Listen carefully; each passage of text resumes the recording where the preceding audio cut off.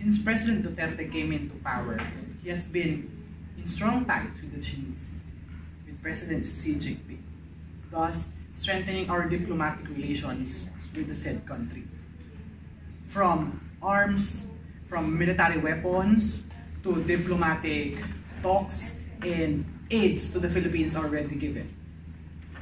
But um, as this progresses, there has been these talks about this offshore gaming operations of Chinese as a diplomatic way of um, um, letting them in in our country.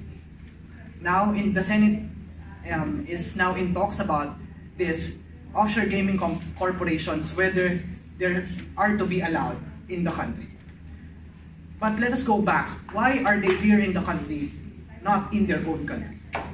Because of one reason. They're doing, if, in, if they're going to do it in their own country, that would be illegal. So technically, they're doing something illegal on the base relative to their country.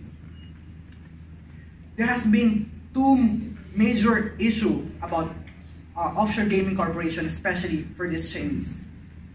First, um, the national security problem.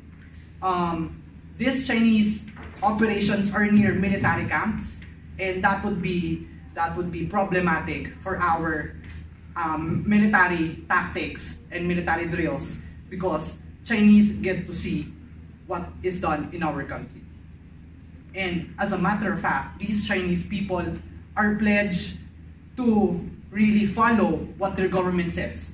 For example, Huawei, um, whether they are a private corporation, but what the government says, they should really follow that. And that is also applicable to every Chinese national in this country.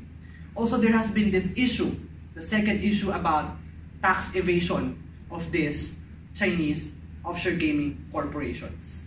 This has been a major problem. This kind of operation should be beneficial to the country, and it is doing the otherwise. That is why POGOs in this country, especially by Chinese one, should be stopped at this moment in time.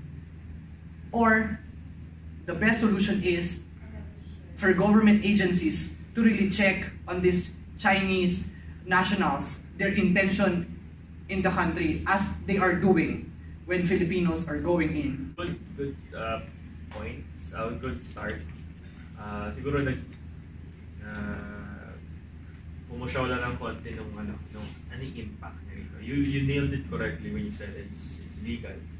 If they, if they do it sa country nila, it's illegal.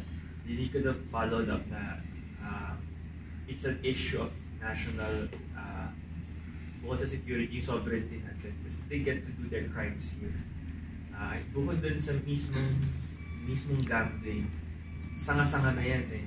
Yung crime, you heard of Chinese na nagbabarila ng Chinese, kidnapping each other, prostitution, iba yung mga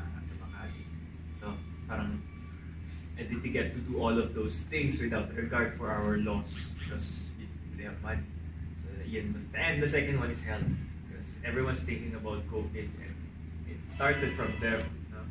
And you should, have nailed it stronger by tapping on the COVID because if, if you can't control their entry here, uh, how how are we assured na hindi nila dadalhin yung, yung virus that originated from them here, di ba? If it was able to go to to Sweden, to Iran, and the, the, the chances are very high that it will arrive here because we're like neighbors, di ba?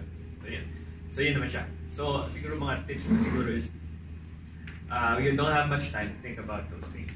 Uh, um, at any given topic which you won't can predict yung topic na ibibigay sa'yo, it's important to, to ask uh, how and why.